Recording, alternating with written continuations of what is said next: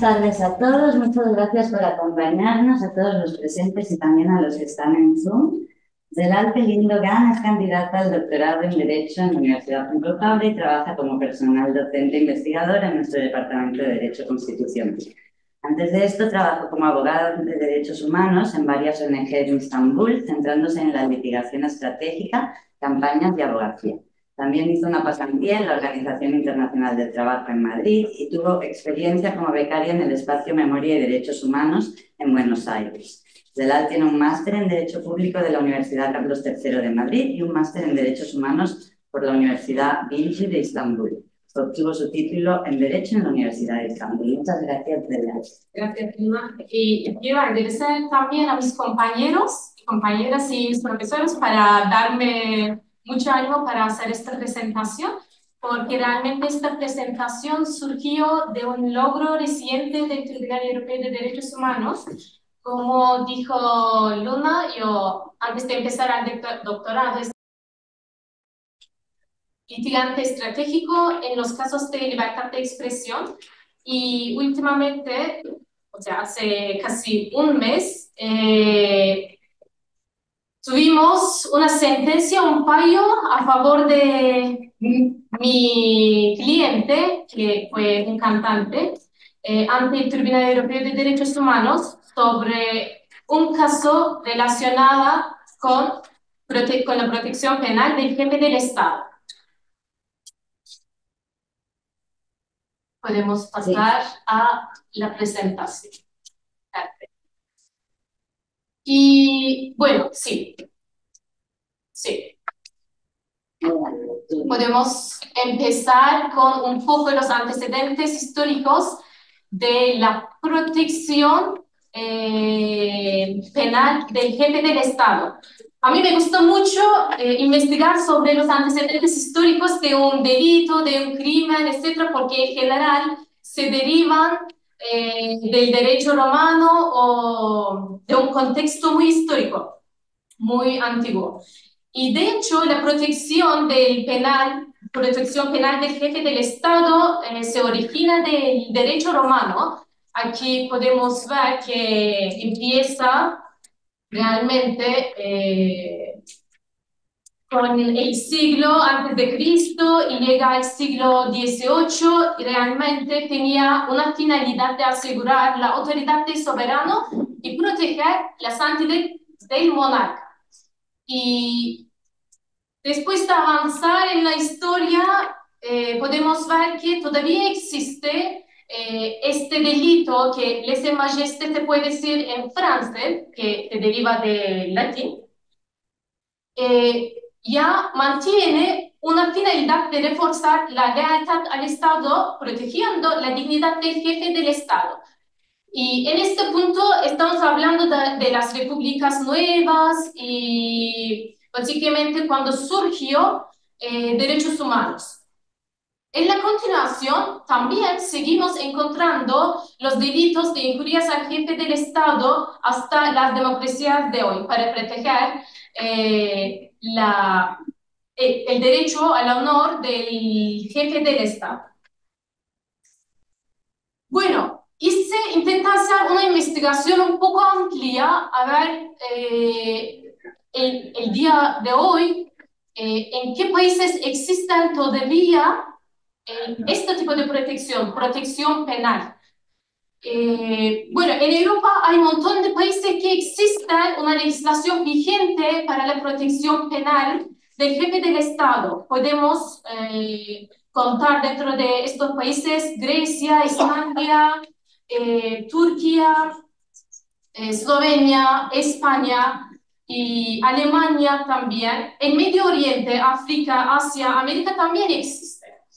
Eh, pero sí que hay también países donde eh, fueron delegados estas leyes que protegen, eh, protegen el jefe del Estado y su honor. Por ejemplo, en Asia, en Europa en general, Noruega, Suiza abrieron dichas leyes. Y también en Bélgica encontré una información muy reciente que en 2023 después de una sentencia, una decisión eh, fue derogado la ley. Eh, tal vez eh, Babet nos puede confirmar sobre este tema. la verdad que la derogación de las leyes es un tema muy importante dentro del ámbito europeo. porque Tanto como es un problema internacional, también una cuestión legal que ocurrió un montón de veces en la área europea. O sea, es un problema regional también. Eh, solamente quiero eh, dar dos ejemplos en el tema eh, de la derogación de las, de las leyes que protegen el honor del jefe del Estado, que uno es Francia. En Francia, en 2023, abolió, o sea, Francia abolió los artículos que protegen el derecho al honor o eh, el derecho al honor del jefe de las, eh, del Estado y básicamente derogaron el artículo, las cláusulas penales eh, que regula injurias al presidente. Pero este acto ocurrió a través de la sentencia del Tribunal Europeo de Derechos Humanos, que es una sentencia muy emblemática, que es E.ON contra Francia. Después de esta sentencia, Francia abrió eh, esta cláusula que protege, o sea, que da una protección penal al jefe del Estado. Alemania también es un ejemplo, me parece muy importante porque está relacionado eh, con el presidente turco, que igual también este problema ocurre un montón de veces ante el Tribunal Europeo de Derechos Humanos relacionado con el jefe del Estado de la República Turca. Bueno, en Alemania eh, no fue derogado a través de una sentencia eh, del Tribunal Europeo, pero en 2018 un satírico, eh, una persona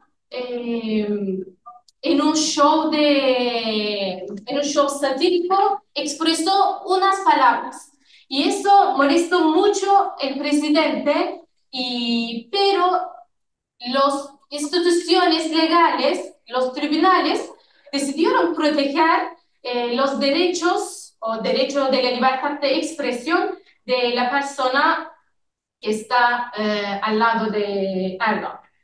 Bueno,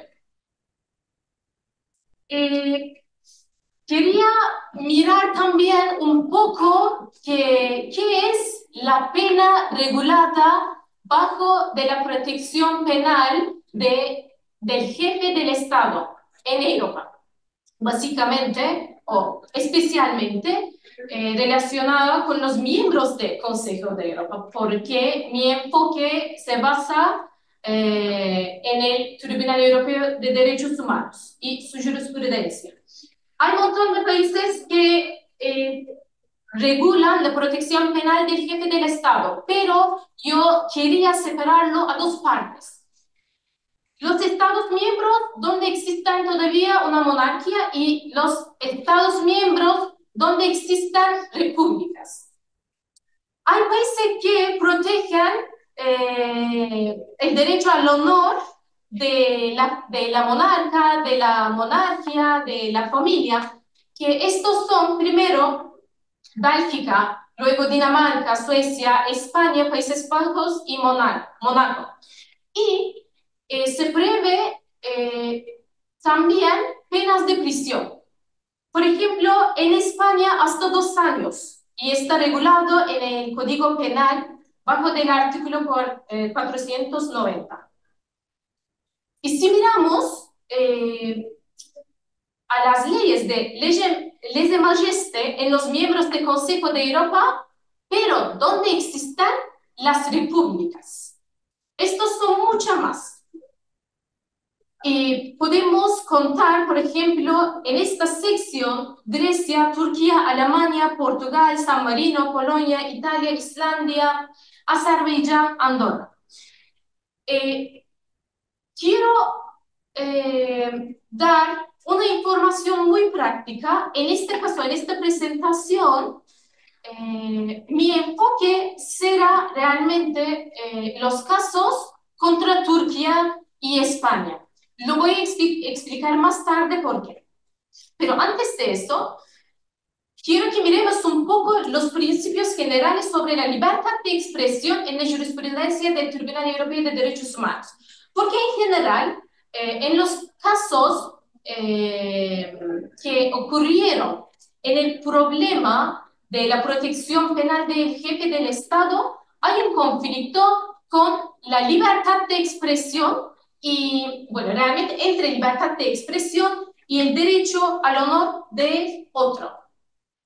Pero eh, después de más de 50 años de la actividad, ya podemos decir que el Tribunal Europeo de Derechos Humanos tiene una jurisprudencia muy amplia sobre eh, la aplicación y sobre las garantías de la libertad de expresión en los Estados de miembros.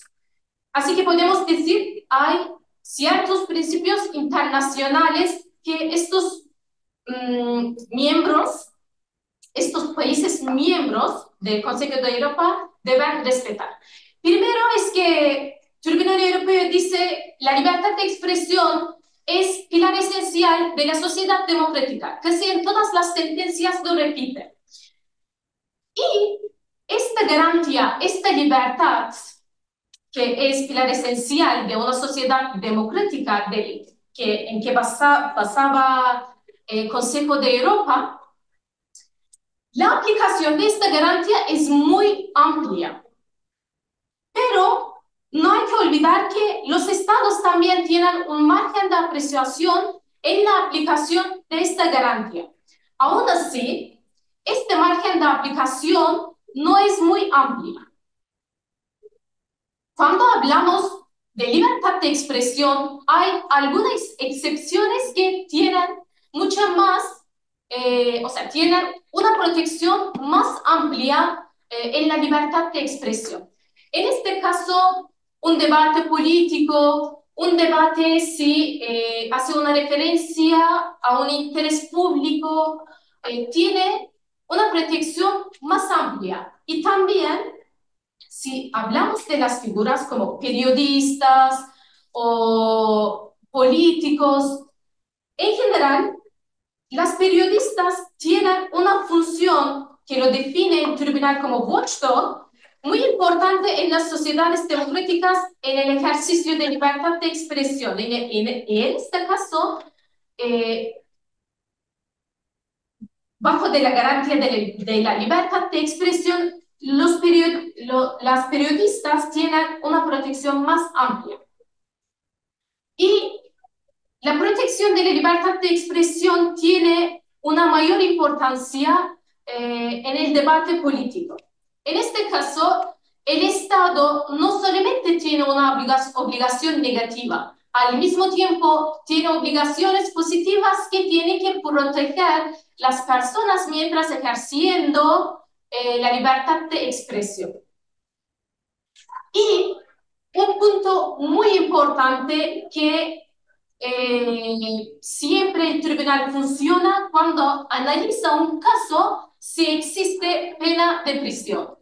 El tribunal encuentra muy excesivo el uso de penas de prisión eh, en los casos de libertad de expresión. Para el tribunal, eh, pena de prisión es como última medida que puede tomar el Estado. Y si hablamos de la protección del honor del jefe del Estado, realmente piensa que este tipo de protección, este tipo de protección privilegiada, privilegiada no debe existir en una sociedad democrática. Pero bueno, si existe, cualquier tipo de restricción debe ser proporcional. Y esta protección debe ser muy como estrecha. La garantía contra esta protección, la garantía de la libertad de expresión, debe ser mucho más amplia que esta protección, es, esta protección eh, del honor. Bueno, eh, Tribunal Europeo de Derechos Humanos cada año eh, publica las estadísticas, depende el artículo y el Estado sobre la violación del artículo 10. Y Turquía ocupa un sitio muy grande en las violaciones del artículo 10. De hecho, entre 1959 eh, y 2021, Turquía casi 42% del lugar ocupa en las violaciones. Es casi la mitad. Últimamente, eh, este número cambió un poco por la expulsión de Rusia y por la, por la necesidad de analizar, examinar y solucionar de los casos contra Rusia que también violaba mucho el artículo 10 del convenio y también por la, por la guerra eh, entre Rusia y Ucrania. Eh, ¿Por qué quise dar este eh, informe, estos números? Porque la jurisprudencia del tribunal consta muchas sentencias contra Turquía y también eh, sobre la protección penal del jefe del Estado. Bueno, eh, yo durante cuatro años tuve que investigar casi toda la jurisprudencia del Tribunal Europeo porque hubo un momento que eh, hubo un momento muy polémico, muy crítico justo era después de, de, del golpe de Estado eh, y había como casi durante dos años y medio el estado de emergencia, etc. Y hubo muchas violaciones de derechos humanos y sobre todo libertad de expresión. Y por eso eh, nosotros estábamos haciendo, montón, o sea, mandando un montón de demandas al Tribunal Europeo de Derechos Humanos eh, sobre libertad de expresión y también sobre artículo 5. Y yo creo que, o sea, no quiero gracias a este, eh, este, este crisis legal, eh, Tribunal Europeo dictó un montón de sentencias contra Turquía. Y también, justo en esa época, antes de esa época también, desarrolló mucho su jurisprudencia sobre la protección penal del jefe de Estado. De hecho, casi mayoría de las sentencias fueron presentadas contra Turquía. Lo primero es eh, que tiene mucha importancia, eh, Artun y Gobernar contra Turquía. Es una sentencia que fue dictada por el tribunal en 2007. Hace mucho tiempo, de hecho. Pero tiene una importancia que es primer caso en la protección eh, penal del jefe del Estado y también primer caso donde definió el tribunal el marco jurídico de esta protección penal. Eh, bueno, realmente me parece, sería práctica mencionar un poco eh, a los hechos de este caso eh, importante que en, dos, en 1999 dos demandantes presentan un, una demanda al Tribunal Europeo de Derechos Humanos hay un carácter importante en este caso que los dos demandantes son eh, periodistas. Así que hablamos de una protección mayor dentro de la libertad de expresión. Eh, bueno, en 1999 hubo un terremoto muy grave que causó millones de muertes en Estambul, en la región Mármara. No, millones, no, miles. Miles, perdón, sí, miles, miles de muertos eh, en Estambul, sobre todo, y en la región Mármara. ¿Y qué pasó? Estos dos periodistas criticaron el presidente de esta época, que fue Süleyman Demirel. Y después de esta crítica, se acusaron bajo el artículo 180 158 del ex código penal que regulaba eh, la protección penal del jefe del Estado, del presidente. Bueno, eh, estos dos periodistas se condenaron por a un año y cuatro meses de prisión. Y la sentencia de un periodista fue suspendida eh, mientras que la pena de Güvener, de otro periodista, se convirtió en una multa de equivalente a 665 euros en esa época. Eh, bueno, los demandantes llevaron el caso eh, para el recurso de apelación, pero al final el Tribunal de Casación confirmó, que, confirmó la sentencia que fue dictada por eh, el tribunal. Bueno, empieza el tribunal a su análisis, a su examinación. Eh, como sabemos, el Tribunal Europeo de Derechos Humanos hace la examinación de libertad de expresión en tres pasos. El primero es estar prevista por la ley. Eh, una restricción debe estar prevista por la ley eso significa debe ser accesible, debe ser claro y debe estar eh, escrito en la legislación nacional. Si pasa por este, por esta, este paso una restricción, entonces el tribunal empieza el segundo paso, que es tener una finalidad legítima. En este caso, eh, en el caso de la protección penal del jefe del Estado, la finalidad legítima puede ser el derecho del honor del otro. Si pasa este paso también, llega a la última examinación, al último paso, que una restricción debe ser necesaria en una sociedad democrática en general los casos fallan en este proceso. Último. En este paso, en general, el Tribunal Europeo examina si esta restricción fue proporcional, si eh, esta restricción fue justificada bien por los eh, poderes públicos que tomaron esta medida, etc. Bueno, en este caso no ocurrió ningún problema en los primeros dos pasos, sino que en el requisito de ser necesaria en una sociedad democrática. Es importante no olvidar que son periodistas y es importante no olvidar que es una pena de prisión por una infracción en el ámbito de, la prensa. Bueno, realmente no hace una sentencia muy distinta que los otros tribunales en este caso, solo que investiga la injuria al, al jefe del Estado.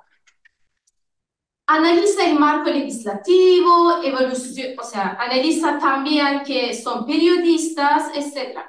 Pero dice una cosa muy importante que analiza, cuando estaba analizando el marco legislativo de esta cláusula, eh, determina que el Código Penal turco otorga al presidente un régimen de protección particular.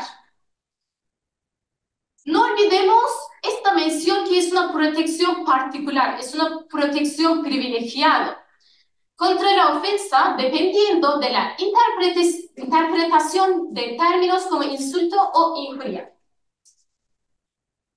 Y dice que ah. realmente eh, no es muy compatible con las sociedades democráticas tener eh, este tipo de privilegio particular. Aún así, eh, yo lo voy a investigar por ser necesaria en una sociedad democrática.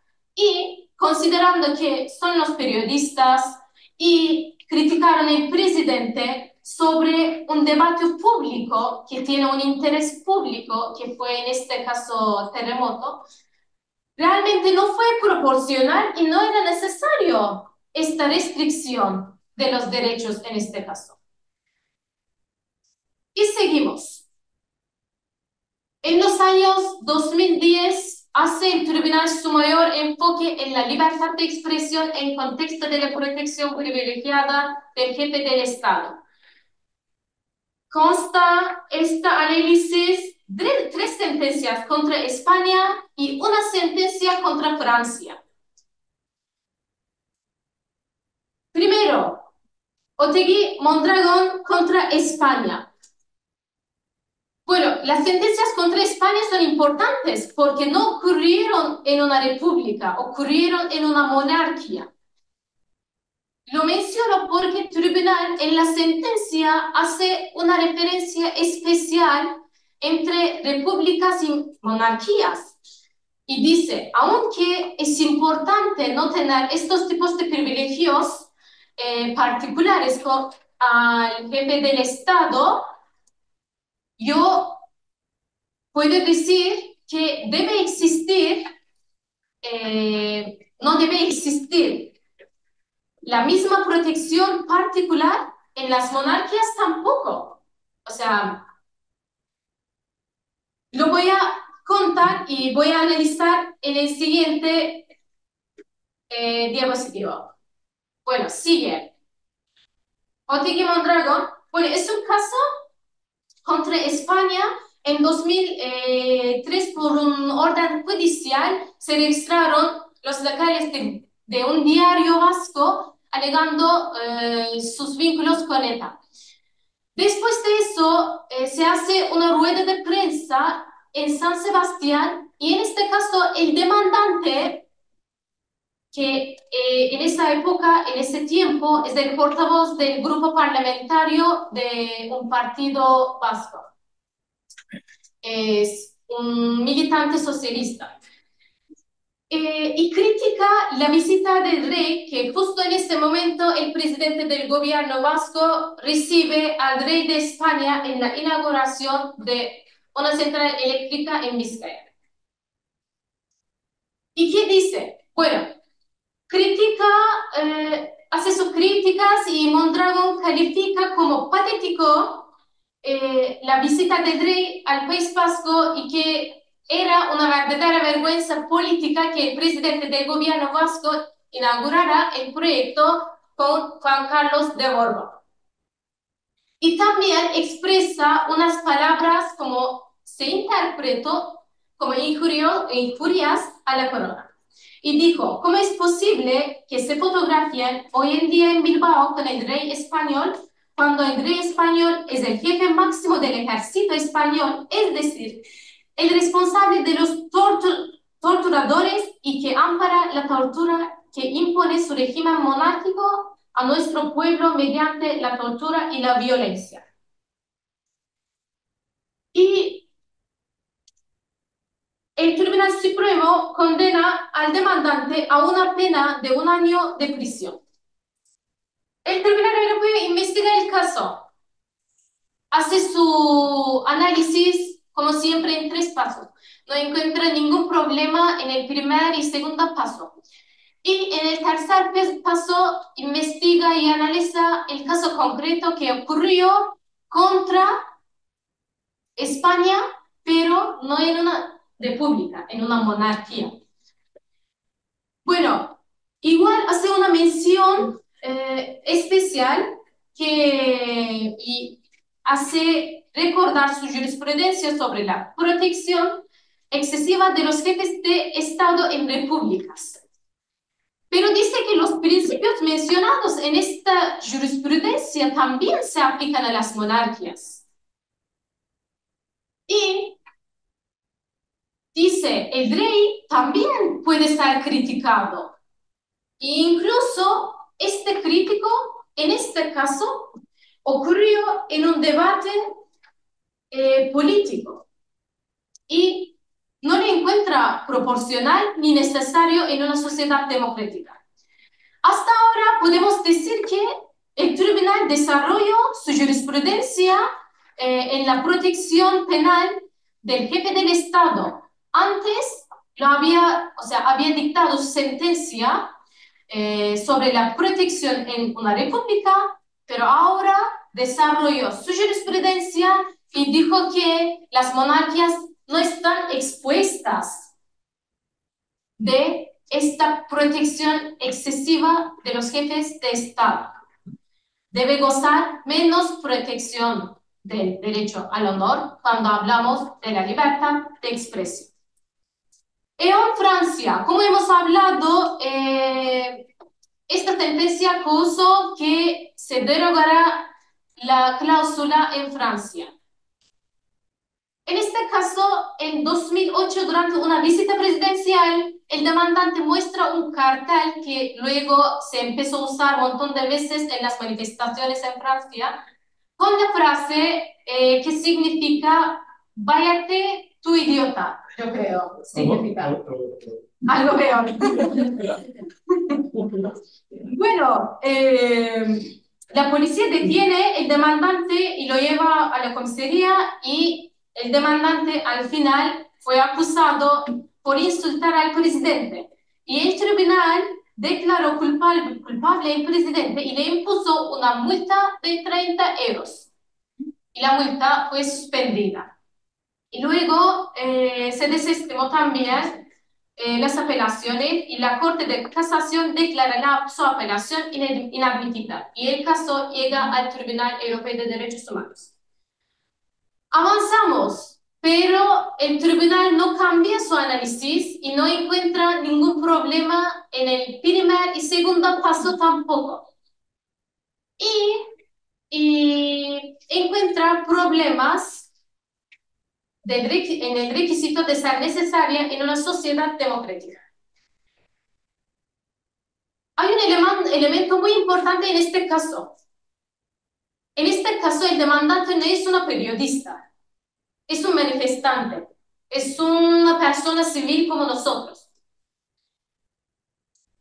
Pero dice, o sea, el tribunal empieza a su análisis haciendo esta diferencia. Dice que la restricción de la libertad de expresión del demandante no está relacionada con la libertad de prensa, pero la crítica de los individuos a los políticos goza también esta protección amplia.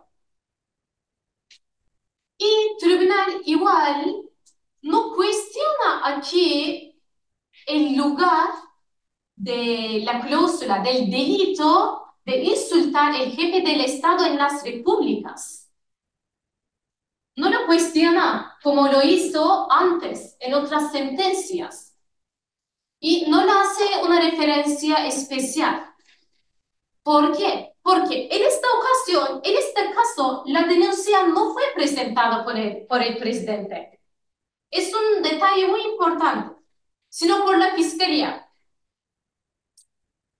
Entonces, implicaba que la protección al presidente no se estaba invocando de manera excepcional o diferente a la de otros casos donde los jefes de Estado buscaban limitar directamente la libertad de expresión.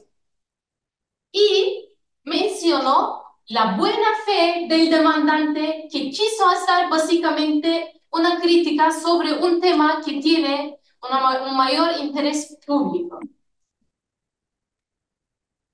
Pasamos y llegamos a una sentencia que también causó mucho debate en España. Taulax y Raura Caballera contra España. Es una sentencia que fue dictada en 2018 y surgió eh, de una manifestación donde los demandantes queman boca abajo una fotografía de los reyes de España durante una concentración que tiene un contexto independentista. ¿Y qué pasa aquí?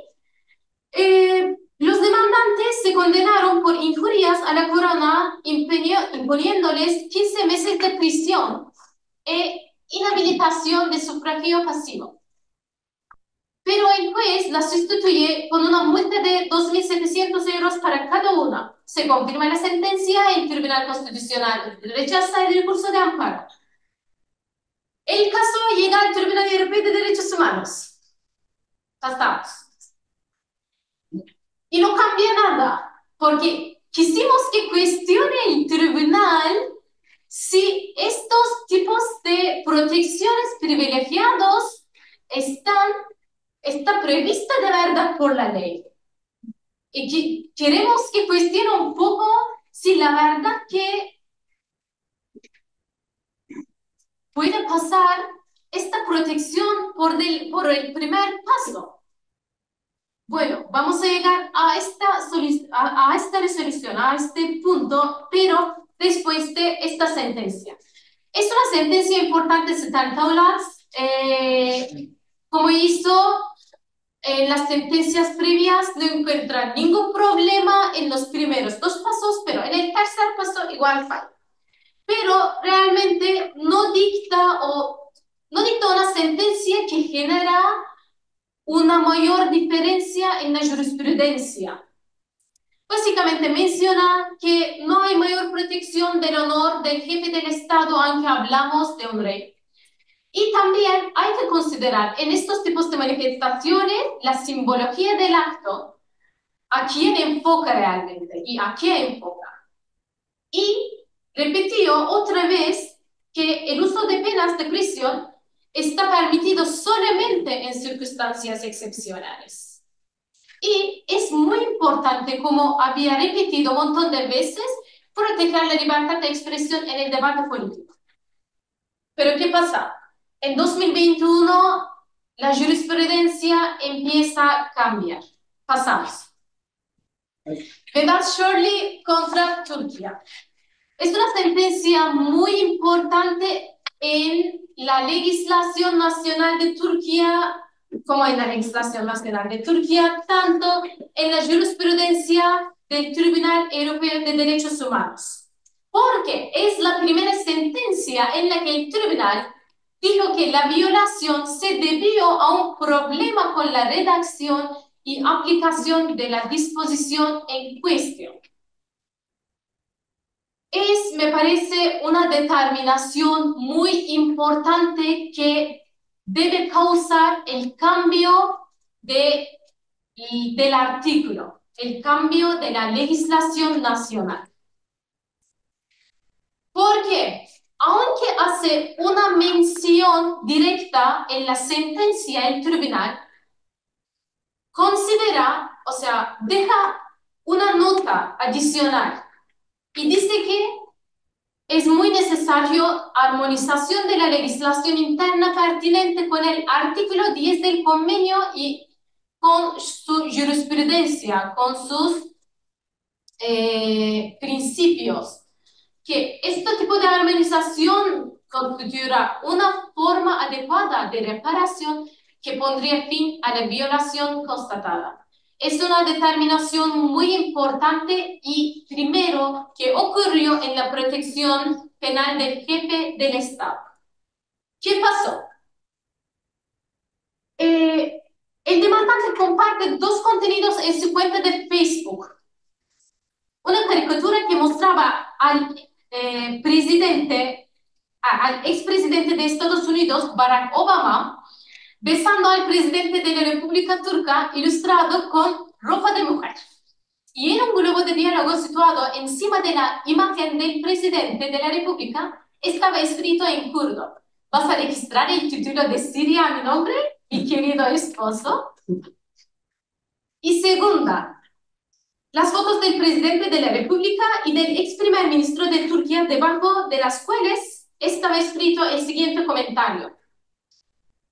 Que vuestro poder alimentado de sangre se hunda en el fondo de la tierra, que vuestros eh, escaños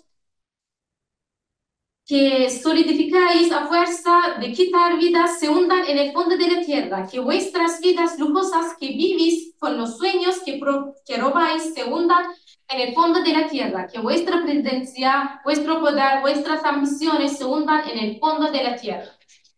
¿Qué pasa? Bueno, detienen el demandante, pero no solamente detienen, también lo arrestan y lo mantienen en prisión preventiva durante dos meses, que nunca había ocurrido en las sentencias previas.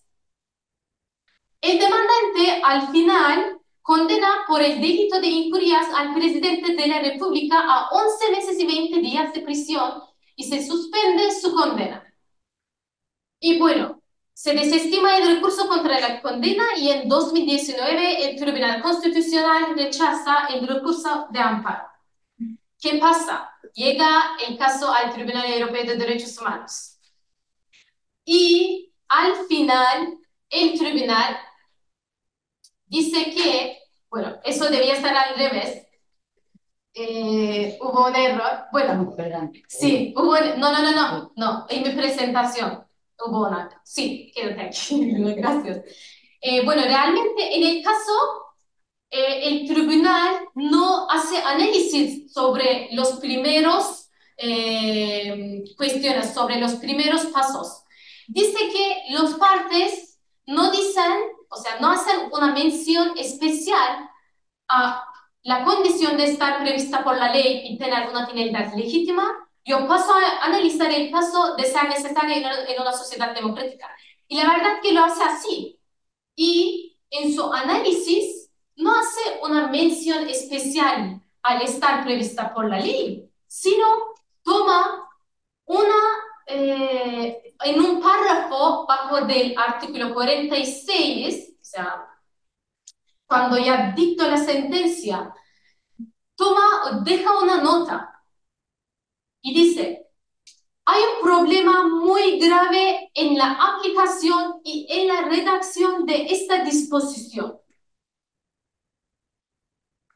Y bueno, antes de llegar a eso, como hace siempre, recuerda que ya he declarado un montón de veces eh, que la protección reforzada que ofrece una ley especial o una disposición especial sobre la difamación es, en principio, incompatible con el espíritu del convenio. Utiliza exactamente las palabras espíritu del convenio.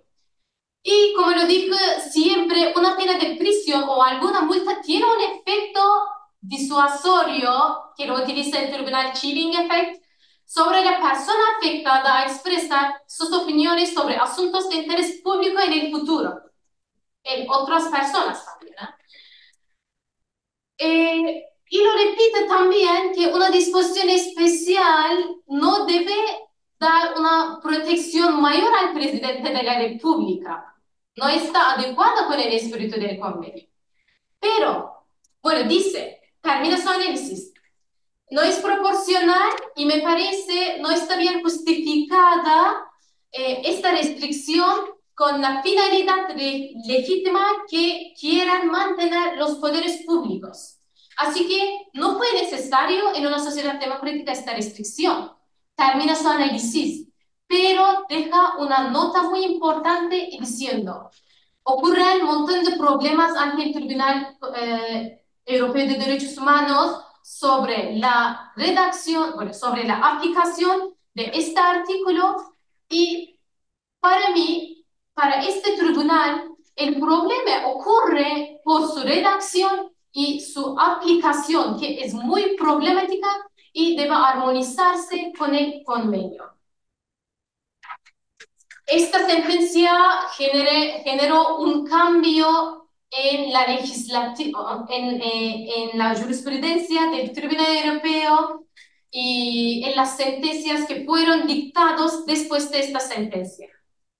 Hay dos sentencias importantes también que fue dictado el Tribunal Europeo que básicamente repitió su sentencia, o sea, su, o sea, su opinión eh, que manifestaba hay un problema, hay un problema en la redacción de, y la aplicación del artículo y lo repitió en estos casos.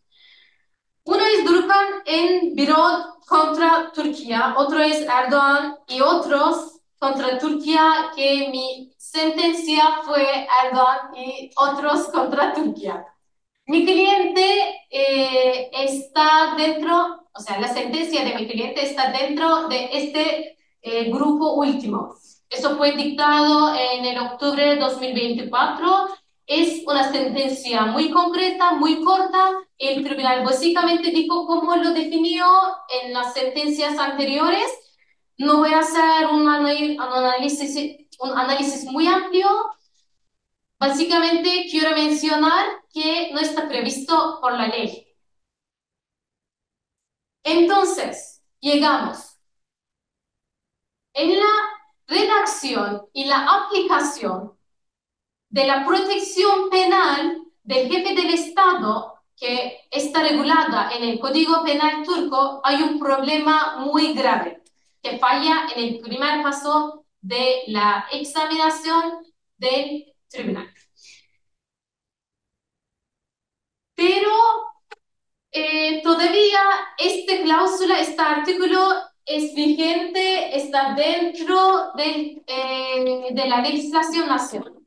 ¿Y qué pasa? Como es que todavía no lo cambió eh, la República Turquía, ya esta sentencia pasó a la ejecución de las sentencias del Tribunal Europeo y ahora está pendiente en, el, en los casos de grupo, en el grupo de los casos Artun y Guvener eh, ante el Comité de Ministros. Pasamos. ¿Cómo llegó a esta eh, etapa? ¿Cómo llegó a esta opinión? ¿Cómo, cómo llegó el tribunal a esta eh, observación? Porque la verdad que quiero mencionar especialmente que lo voy a eh, contar eh, en otra sentencia, o sea, en otra diapositiva, la gravedad de la aplicación del artículo 299 del Código Penal turco, que ocurrieron un montón de casos en el ámbito Consejo de Europa y un montón de problemas. De hecho, en esa época, los cuerpos internacionales eh, que son partes del Consejo de Europa hicieron un montón de investigaciones sobre Turquía y sobre la aplicación de este artículo. Consejo de Europa, el Comité de Ministros hizo una declaración sobre la aplicación de este artículo. Y más, la Asamblea Parlamentaria de Consejo de Europa tuvo una resolución, dictó una resolución. ¿Y qué más? Comisión de Venecia hizo una investigación especial sobre el artículo y sobre su aplicación. Y más, el comisario, no sé si se dice comisario en castellano, comisario de Derechos Humanos del Consejo de Europa, hizo una visita especial sobre la situación de la libertad de expresión y de prensa en Turquía y analizó la aplicación del artículo que protege eh, el jefe o que da una protección penal al jefe del Estado también. Y la opinión que llegaron en este caso fue, es muy problemática y es un mecanismo judicial que fue utilizado y sigue utilizando por los poderes públicos eh, contra los ciudadanos. Entonces, este artículo ya salió de ser una protección básica, salió de ser una protección penal eh, que existe en el código, código penal turco, sino que volvió un mecanismo, una mecanismo para amenazar a los ciudadanos.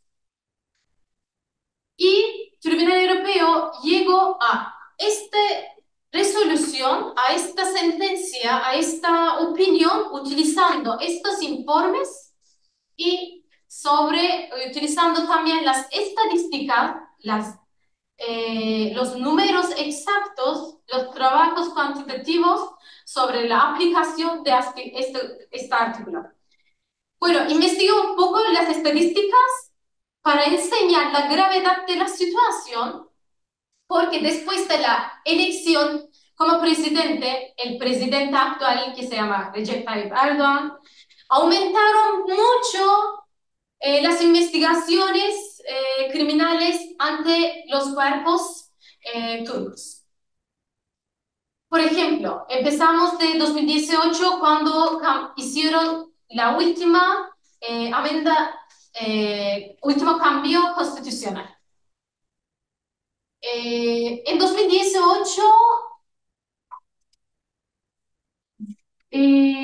abrieron, bueno, ante el Ministerio Fiscal, ante Fiscalía, se dice, ya, ante Fiscalía, más de, bueno, cerca de 30.000 investigaciones. Y ante los tribunales penales llegaron más o menos 5.000 casos. Y en cada año aumentó este número que en 2023 la Fiscalía recibió más de 50 mil demandas por eh, este delito, por la protección penal del jefe del Estado. Eso no significa que el Ministerio Fiscal inició una investigación criminal contra más de 50 mil personas, pero recibieron, porque cualquier ciudadano puede pedir que una persona se juzgue por cometer este delito.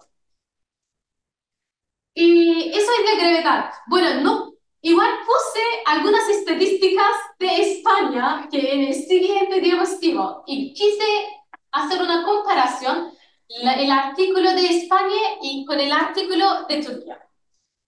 Porque me parece, eh, son dos países que hicieron desarrollar la jurisprudencia del Tribunal Europeo de Derechos Humanos.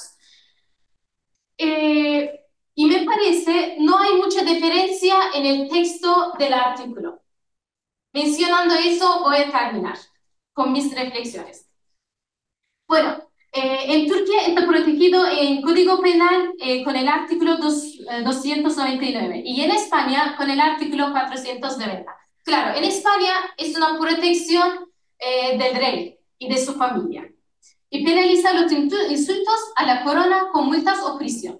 Pero en Turquía se penaliza el insulto al presidente con penas que incluyen también prisión y multas.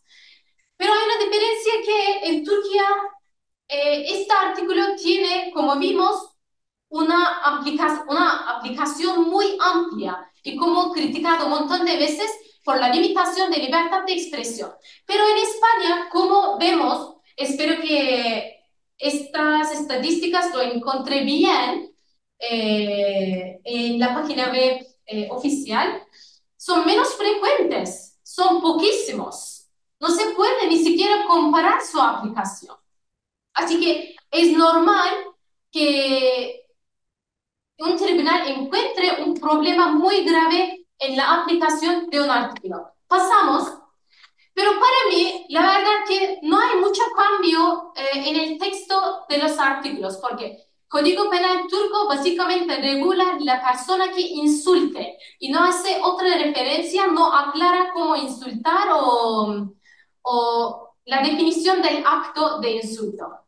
Y Código Penal de España también hace una mención con dos palabras, que es el que calumniare o injuriare al rey, dice. La verdad que en la redacción de, la, de los artículos no hay mucha diferencia, sino en la aplicación. ¿Y a qué podemos llegar?